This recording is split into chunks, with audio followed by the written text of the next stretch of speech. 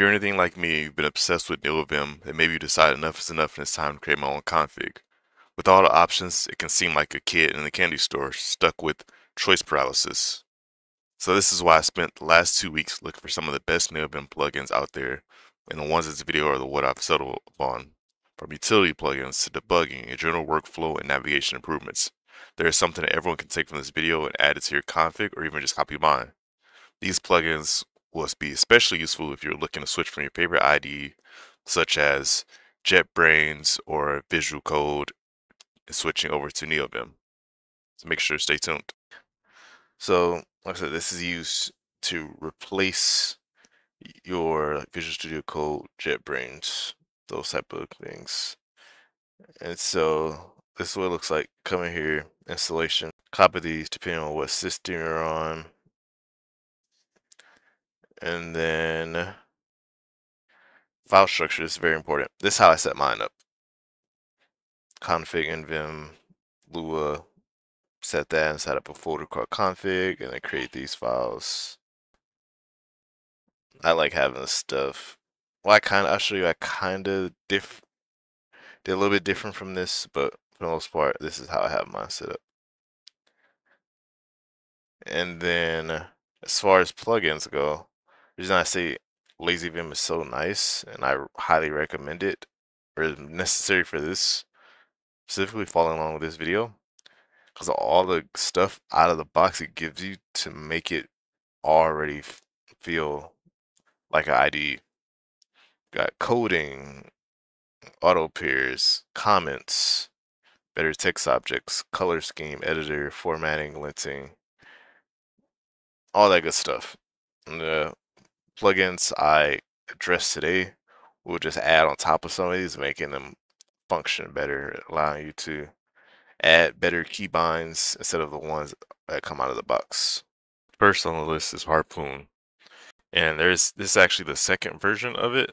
And so if you actually click on the first one, which is the outdated one, there will be a link that links you to the correct one.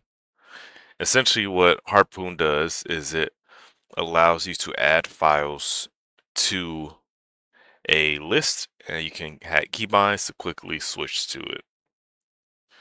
And so here's the installation. Make sure it's Harpoon 2. And let me show you the setup.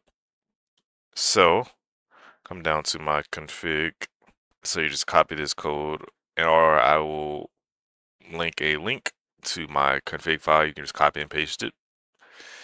And so for my key maps, I have leader key plus A, and for me, leader key is space. This is very important. Make sure you add this right here, add file to Harpoon, because if I come here, press my leader key, which pulls this up, you can see right here, add file to Harpoon. Otherwise, this will just be blank. It'll say A, and you might get confused on what it is. So make sure you add the description on there. And then there's key maps to switch between the four. You can add more than four. And so if you go past four, you use these keybinds here. Well, most time I have just four files open on my Harpoon at least. So I'm gonna pull up this and I'm going to add these files to my Harpoon. So I'm going to come here and add this one. You see how like I would normally have to do this. I come here and click on it. Basically, this solves that because I add all these files to it. Then I can press Control E, and now I come here, and I can even just click on it instead. Like if that's more more comfortable for you, do that.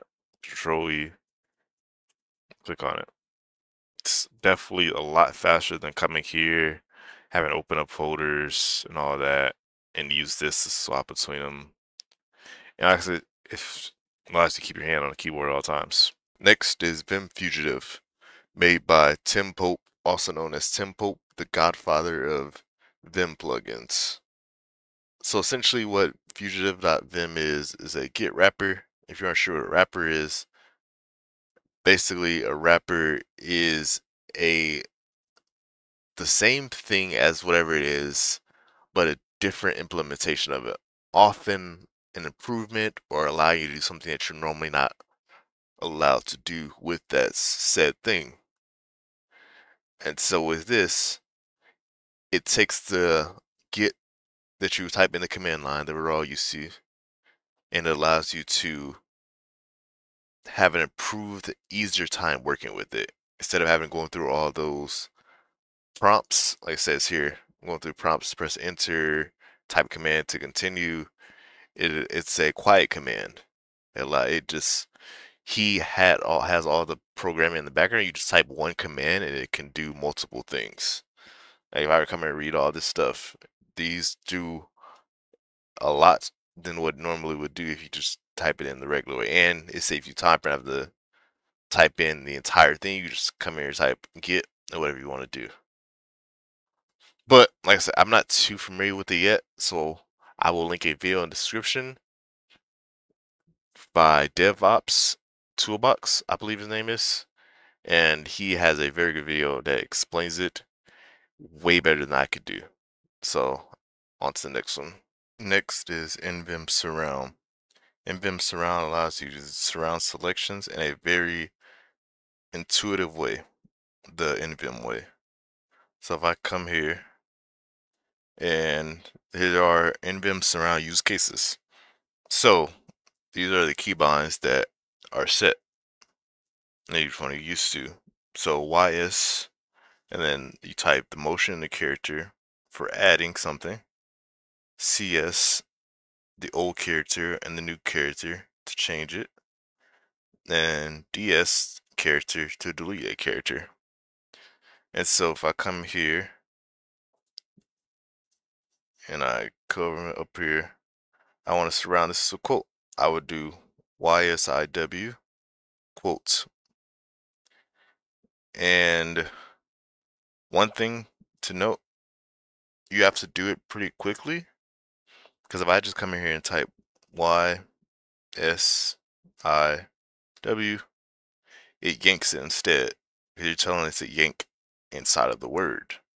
But if you type it all pretty much in one motion, that allows you to use NVim surround correctly instead of just using NVim or not NVim. Whenever you use this, so I come here and put Y. That's just that is what is yank. Like like when I come here using which key, that's yank. But having those system plays with YSCS DS, that basically allows tpope to not tpope, but the creative this overwrite that as a starting one, then you can add on top of it. Just a quick thing. You'll understand that more as as you use it. And so I come here, change it to single quotes. And so change from these quotes to single quotes. So you type in CS, double quotes, single quote, old one, new one. And then come here, delete surrounding quotes. All you type is DS and surrounding quotes. And this last one, you actually don't need to be in visual mode, but you can be. So right, say I press V, go visual mode, and I press capital S. Now you see all these selections I can make. I can select the sentence, which is already selected, but just to confirm it, I can press C to capture the line above it, I can press D to capture the entire file. I press D, there we go super quick, super nice and efficient. But like I said, you can also just do a normal mode. So you just tap the S and see. And I would actually recommend that way because it's a lot quicker. It's one less action. One more thing, come in here and type H nvim surround Uh, usage and that pulls up the help page for NVim Surround. You kind of see some of the same things. So like old text, type in the command, gives you new text, use cases, a lot of like how exactly everything works. Super nice. Some more mappings and all of that good stuff. And for the final plugin, it is mini.nvim. Basically a library of 40 plus independent Lua modules to improve overall NeoVim experience. And like one of the other ones, it is made by echasnovski. he essentially just makes a bunch of NeoVim plugins, and this all the plugins in here are made by him, which is really nice. Uh, they're all are meant to work really well together. And so this is how you install it. And so you can see like some of these are even used in LazyVim.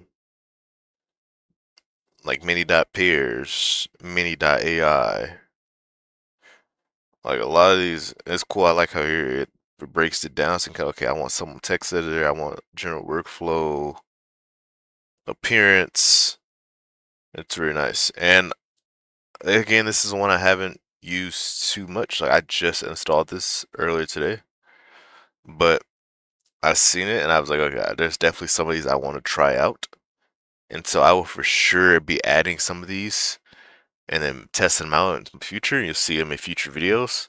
But for this video case, I essentially just, you could do also do this. I just asked Claude how to use it. And then I told it to show me how, how to install the most popular ones. And so it came with this. So essentially, install the same way you would install Mini.NVim. Type the URL, and then either way, just come here and copy and paste it. And once you do that, you're ready to do it. And like I said, it comes here mini.basics, mini.files. You can pick whichever one you want, and you can gradually put them in there. So you, can, you don't want to just add 10, 50 different things and not know what they do. Right, and then obviously if you already have some like mini surround or app surround, if I wanted to use this, I would have to either comment out or just delete surround. But yeah, this is something I'm definitely looking into using. And like I said, I will have the config in the description for now, I think we got to just make it a file where you can copy and paste it. And then very soon I will have a GitHub repository that you can check in on and make sure and copy and paste basically. It's just my updated version. Stay up to date with what I'm doing, my configs. But yeah, if you made it this far, thank you for watching. Make sure you like, comment, subscribe.